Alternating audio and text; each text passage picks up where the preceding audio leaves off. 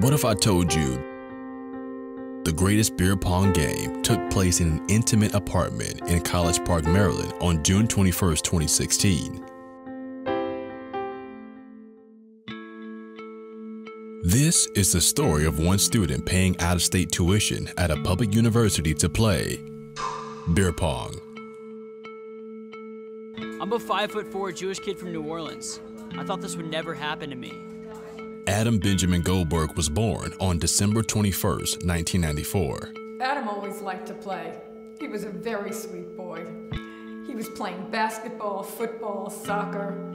He always, always tried his best. That's all a mother can hope for. I was pretty active as a kid, but picking up that pong ball, best decision of my life. Once Adam enrolled in the University of Maryland, he called me up and said, Mom, I'm going to play beer pong. I thought, well, okay. Beta's Rush or Die Party is where it all began.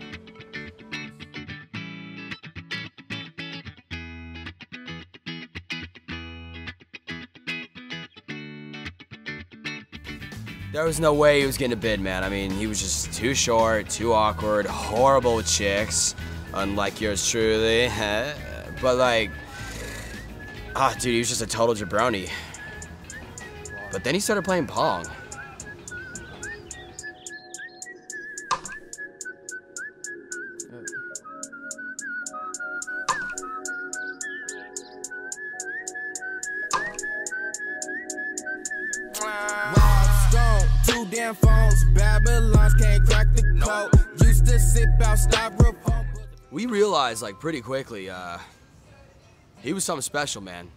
In early 2014, he exploded onto the competitive beer pong scene.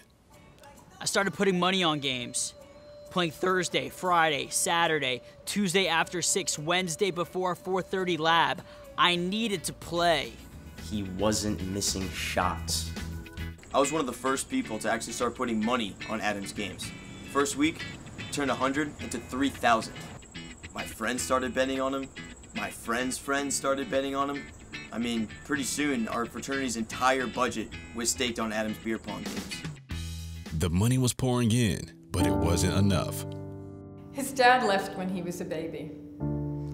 So, George and I got together, and ever since that time, Adams wanted George to be his father. Hey, Adam, uh, what's this I hear about you playing beer pong? Uh, I, I just got an email from your academic dean. He's telling me that you're missing all of your Friday classes just so you can rest up for the weekend to play beer pong. What the hell, man? What's wrong with you?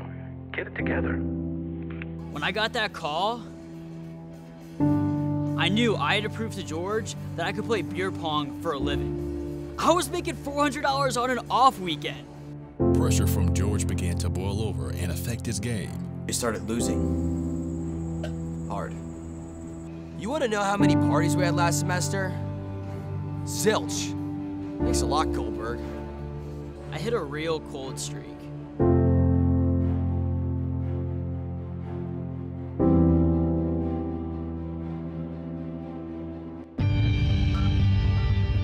Started missing easy shots, forgetting formations. I made Bitch Cup every single game. I needed to get out of that funk. I would just see George's face. Adam, you suck. There is no way you can hit this ball. And then the halfway to Hanukkah party happened. Party started, my buddy Zach arrived, and we were off. Beat Bailey and Reed, Sam and Aton, and Dan and Matt. In walk Will Hampton and Jake Thompson, defending champions of the Solo Cup.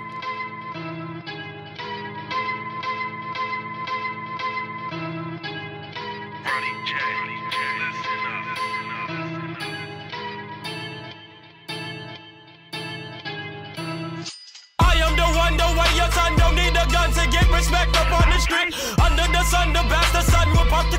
feed himself and family.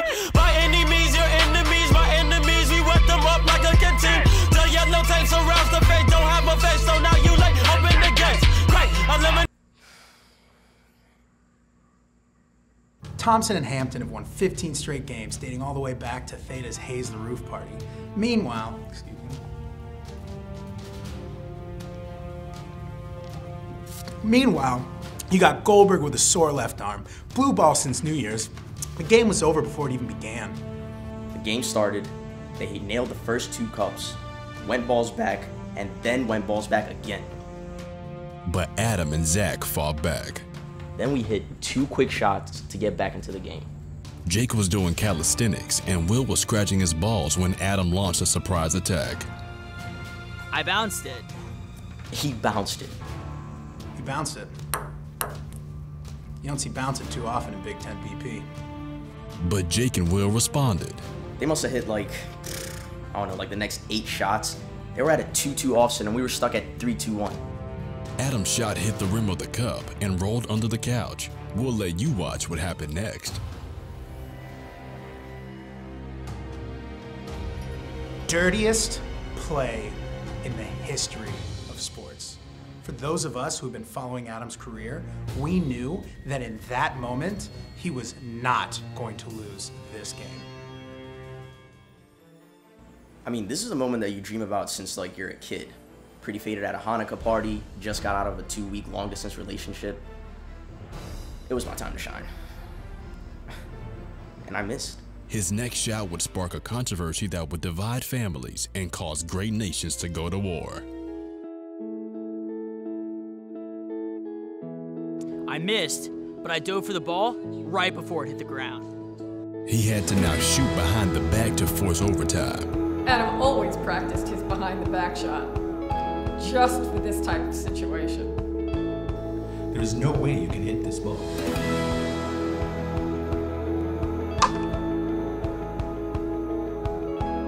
Greatest shot ever. Hold on a second. Yeah, that was Buffalo Wild Wings.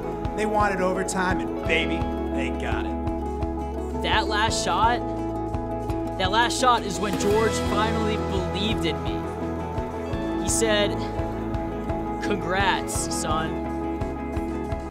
Bullshit. I never said such a thing.